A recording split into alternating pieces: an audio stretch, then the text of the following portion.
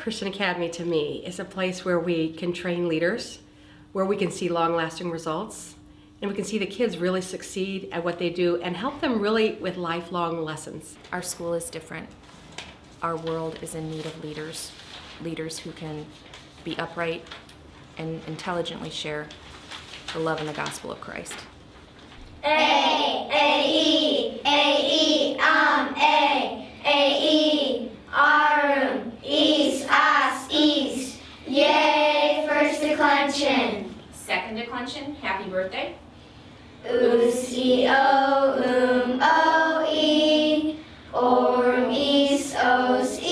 done. Second declension neuter, mission impossible. Um, E, O, Um, O. Third declension, take me out to the ballgame. S E C M E S. Um,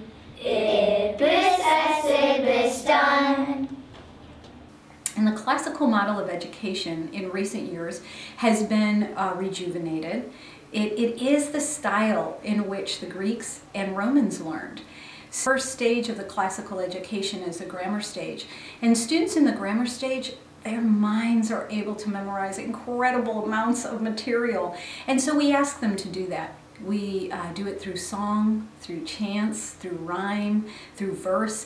And we see our children really building a foundation of knowledge. Who talked very rapidly? Reporter. Subject now. What is being said about reporter? Reporter talked heard. Talk how? Rapidly. Adverb. How rapidly? Very adverb. What kind of reporter? Newspaper. Adjective. Begin.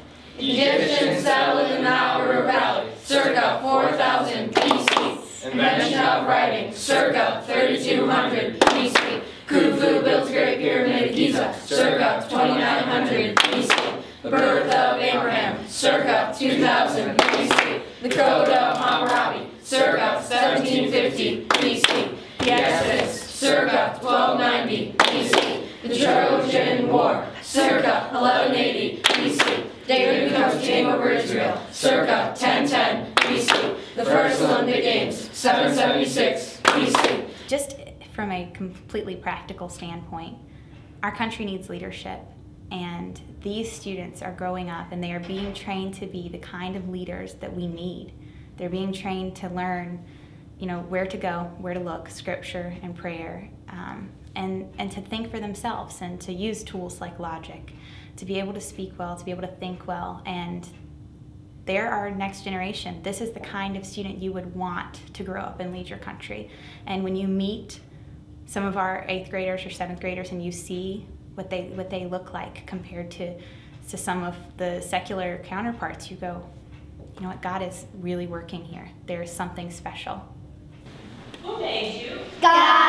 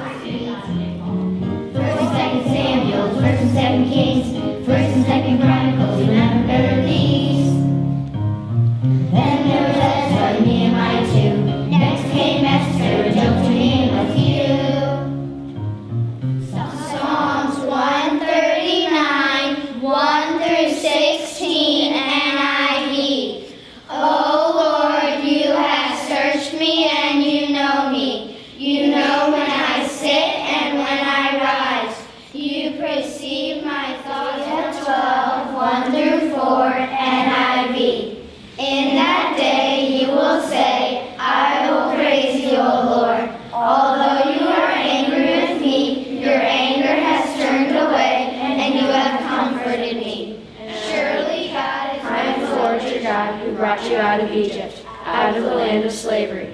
You shall have no other gods before me. You shall not make for yourself an idol in the form of anything in the heaven above, or in the earth beneath, or in the waters below.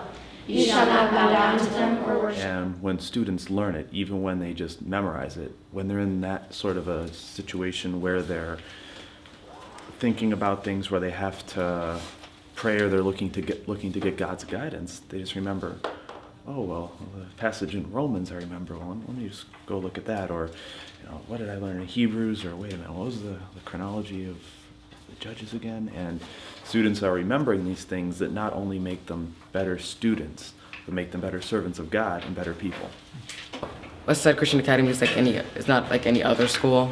It's very different. Everybody knows every everybody knows everybody else's name.